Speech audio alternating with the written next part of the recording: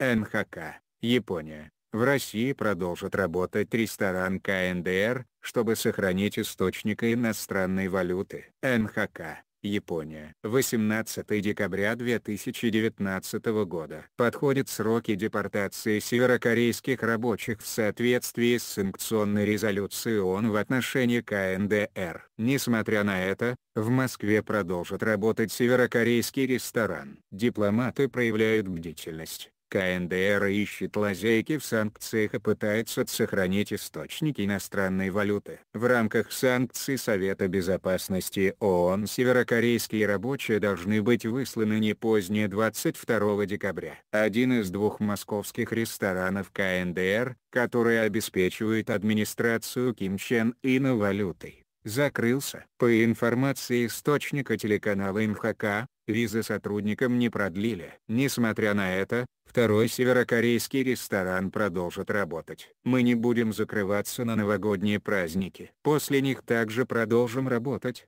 заявил сотрудник заведения. Это означает, что владельцы не планируют закрывать ресторан. В соответствии с регистрационными данными этого ресторана директором управляющей компании является россиянин. Однако предполагается, что основатель компании человек, получающий всю прибыль, это, гражданин КНДР. Выяснилось, что в ближайшее время такое положение вещей, вряд ли, изменится. Предполагается, что в соответствии с санкционной резолюцией ООН Россия также прекратила выдачу виз северокорейцам, однако основатель ресторана может остаться в России, каким-то образом избежав санкций по другой визе или иными методами. Мы следим за тем, в какой форме ресторан продолжит работать, отмечает дипломатический источник. Иностранные дипломаты, работающие в России бьют в набат по поводу того, что КНДР ищет лазейки в санкциях и пытается сохранить источники иностранной валюты. Материалы на СМИ содержат оценки исключительно зарубежных СМИ и не отражают позицию редакции на СМИ.